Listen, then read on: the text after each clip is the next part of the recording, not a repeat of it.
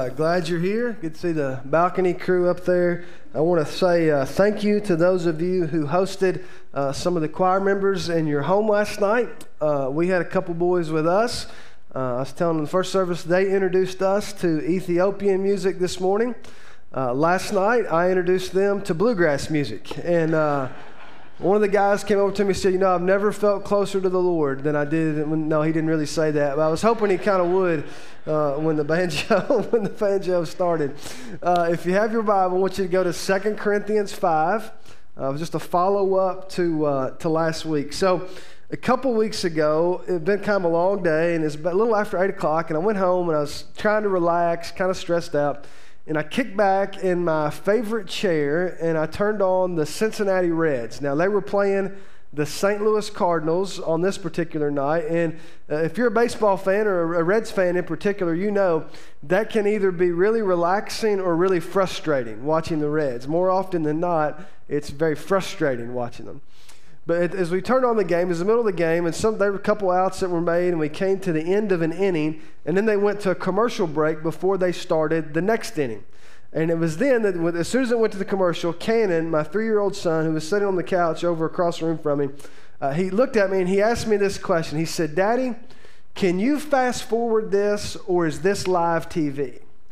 And I realized in that moment that my son is growing up in a world in which commercials, for the most part, are optional. I mean, you can DVR stuff, you can watch stuff on demand, and for the most part, it feels like commercials are just sort of disappeared. So, so here's Cannon, he's three year old.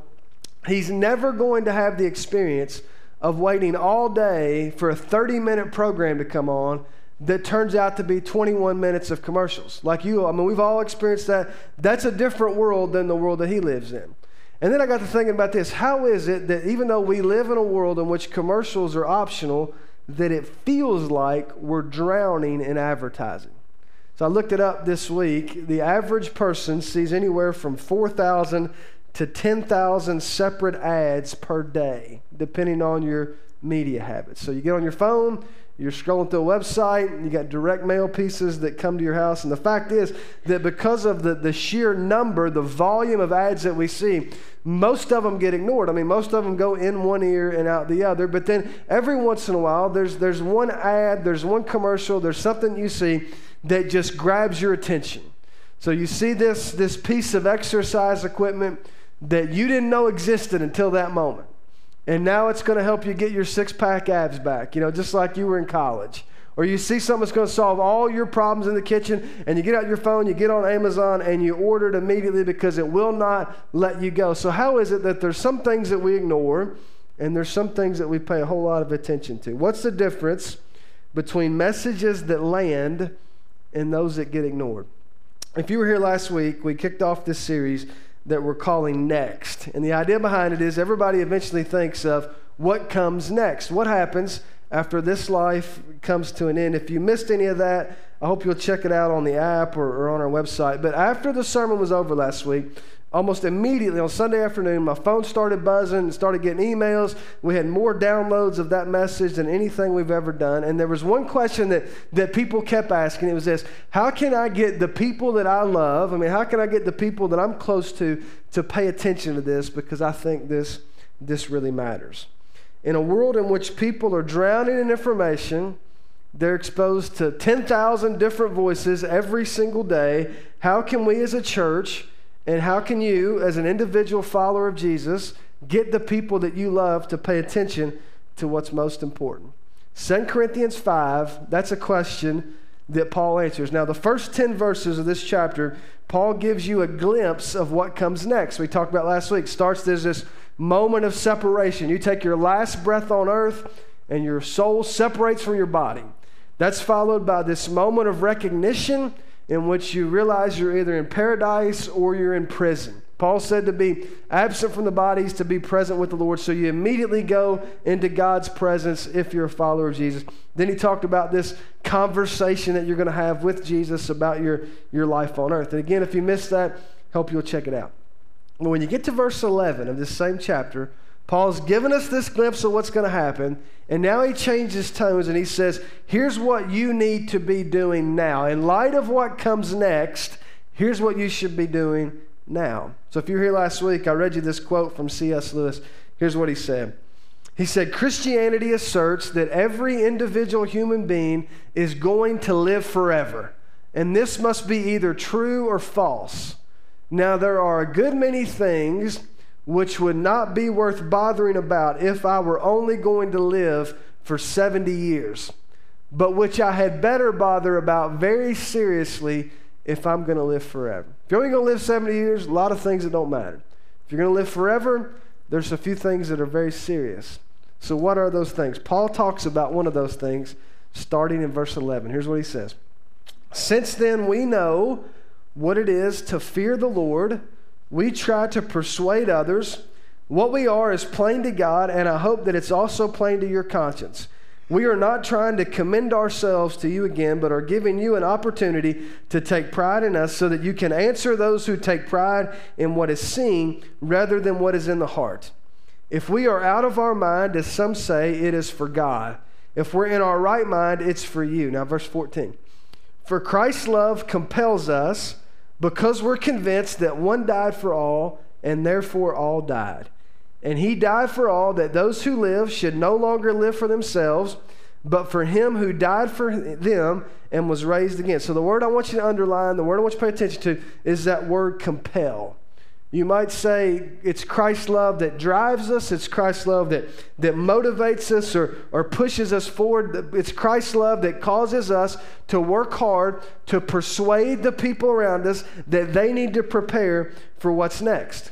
Now, you and I know we live in this world in which we're just bombarded with all kinds of advertising. It comes in a lot of different shapes and forms. Most of it is, is digital now, but you still hear stuff on the radio. You get the newspaper out. And the people who, who study this will tell you there, there's one way of advertising that's by far the most effective, and it's decidedly old school. Here's what Seth Godin, a marketing expert, said. He said, The secret to marketing success is no secret at all word of mouth is all that matters. Now, you think back over your life, that's probably true. It's one thing to hear about, uh, you know, see an ad for a new restaurant. It's, it's, something else to talk to somebody that you trust that just ate there.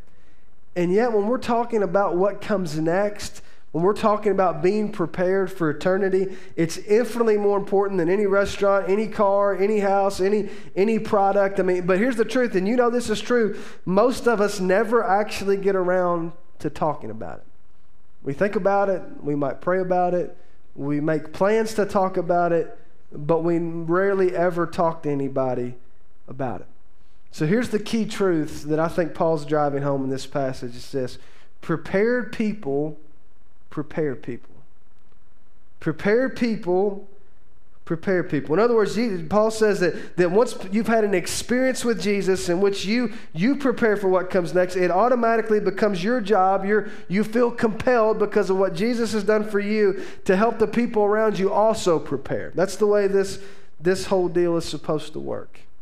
So, how do you do that? Well, we're going to talk about this a lot over the next few weeks, but for today, there's just two quick things. Here's the first one. As you're helping other people prepare, it requires a consistent effort. Not a, every once in a while effort, but a, a consistent effort. Look at what he says in verse, verse 16. So from now on, we regard no one from a worldly point of view. Though we once regarded Christ in this way, we do so no longer. Therefore, if anyone is in Christ, the new creation has come, the old is gone, the new is here. All this is from God who reconciled us to himself through Christ and gave us the ministry of reconciliation, that God was reconciling the world to himself in Christ, not counting people's sins against them. And he has committed to us the message of reconciliation. So again, Paul says, once you've had an experience with Jesus, you become a new creation.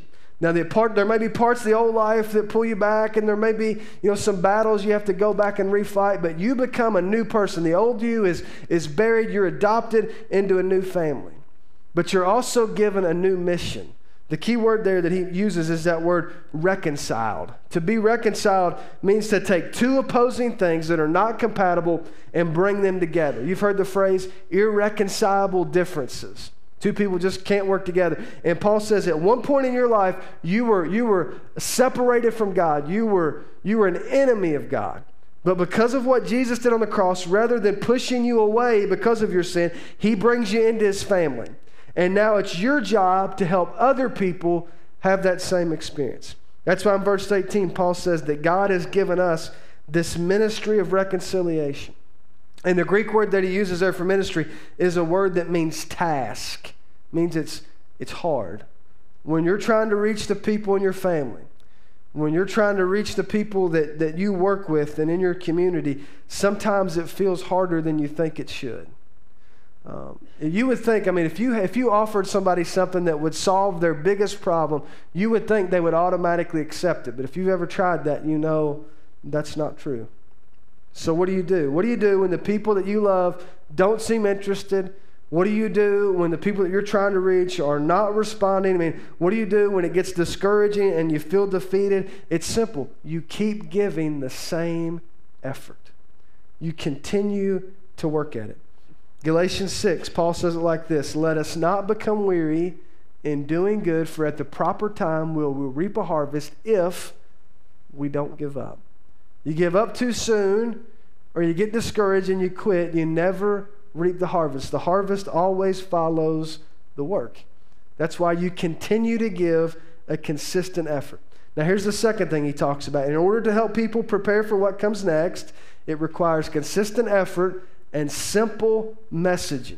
I can't stress this enough. It has to be a simple, a simple message. Check out verse 20 that he says here in 2 Corinthians 5. He says, We are therefore Christ ambassadors as though Christ were making his appeal through us. We implore you on Christ's behalf, be reconciled to God. God made him who had no sin to be sin for us, so that in him we might become the righteousness of God. Paul makes it clear once you understand this, once you have this experience, you automatically become an ambassador to the people around you. An ambassador is the highest ranking government diplomat sent from one country to another country to represent the interest of the home country. An ambassador is somebody that goes and lives in a foreign nation in order to represent the people that sent them. Paul says if you're a follower of Jesus, you're an ambassador to the people around you.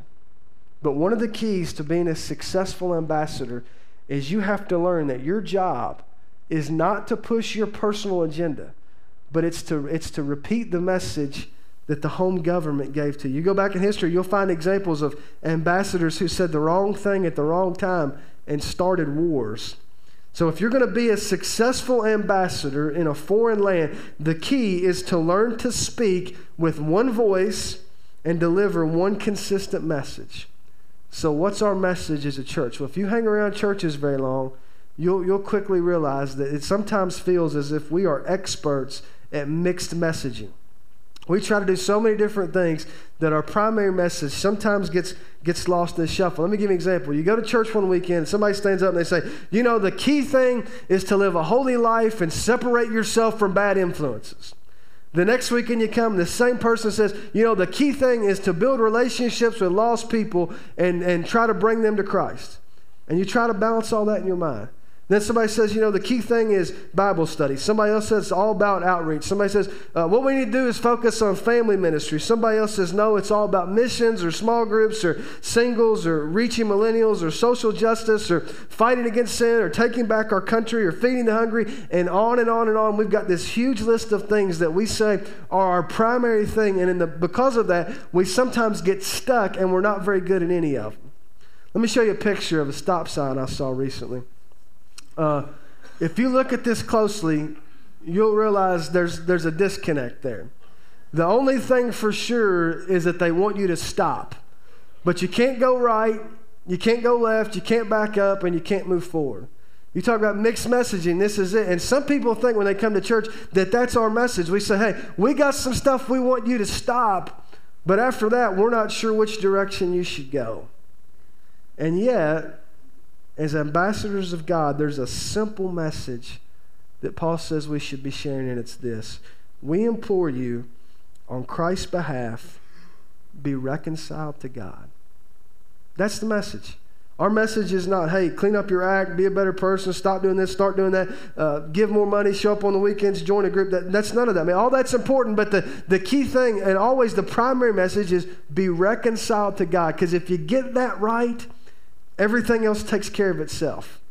If you don't get that right, then nothing else matters. That's why our number one priority as a church is people who are, who are trying to be prepared for what comes next, who are trying to help other people prepare for what comes next, is hey, wherever you're at in your spiritual life, make sure you're reconciled to God. That's our message. Not our job to change it, not our job to, to soften it. Our job is to deliver it as consistently as possible. And another way to say it would be prepared people, prepare people. That's our message. Two questions and then I'm done. Here's the first one. I want you to ask yourself, Am I prepared? See, just like last week, it's one thing to talk about this, and you know, next week we'll jump in about what happens on the judgment day and all this. And my suspicion is there's some of you here and you hear this and you think that's great, but I'm not really prepared. If you look at what Paul says next, 2 Corinthians 6, 2 Corinthians 6, verse 1, I want you to look at this. He says, As God's co workers, we urge you not to receive God's grace in vain, for he says, In the time of my favor I heard you, and in the day of salvation I helped you. I tell you, now is the time of God's favor. Now is the day of salvation. Anytime you see in the Bible where it talks about salvation, you know when it says you're supposed to do it? Now. It's always today, it's always now. It never talks about tomorrow, it never talks about, you know, some some point in the future. And the reason that's true is because nobody's promised tomorrow. The only moment you're promised is now. So if you're unprepared, don't wait until some obscure moment in the future that may or may not happen. You need to prepare now. The other question is this one. If you are prepared, are you doing anything to help other people get prepared? As I was thinking about Canaan asking me that question at the game a couple weeks ago, it caused me to have a flashback uh, to when I was a little kid. I would sit in this little living room with my grandpa, and we would always watch the Reds.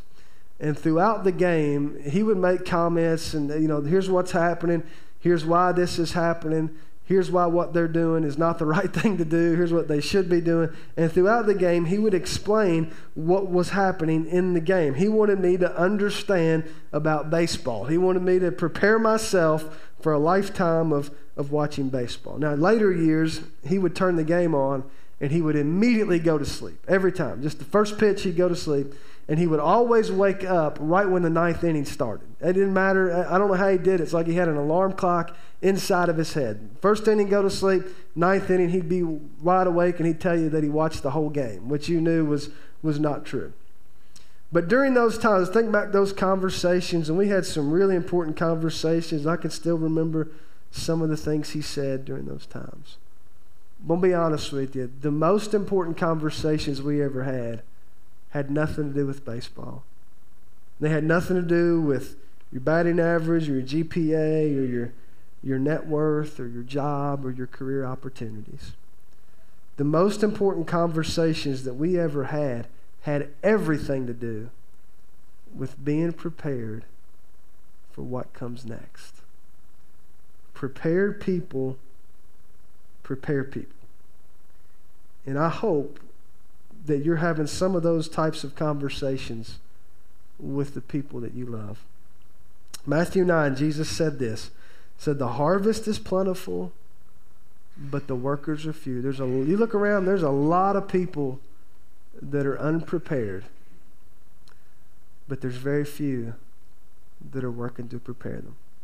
Let's pray Father, we thank you for the morning we've had. We thank you for the weekend we've had. Thank you for the great conversations that took place. Thank you for the relationships that were formed. But Father, help us never to lose sight of the fact that our number one priority is to take people who are far from God, whether that's us or the people that we're closest to, and help them to be reconciled to you. Help them to be forgiven, to have an experience of your grace, to be adopted into your family. And Father, we pray that you would give us the courage to have those conversations, that we wouldn't uh, chicken out when the moments come, but that we would be completely focused on the primary thing. In Jesus' name, amen. I want you to stand. We're going to have just a brief invitation. Uh, if you're here uh, and you want to talk to somebody, you want to pray about something, maybe you're unprepared, you want to uh, ask some questions about what that would look like for you to get prepared, uh, Dave and I'll be here. If you want to join the church, you say, you know, I've been coming for a while. It's time for me to join the team. Uh, we'd love to have you. You don't have to do anything weird. We're not going to make you say anything or do anything. Uh, we'll just, just come hang out in these front rows, and Dave and I will be here.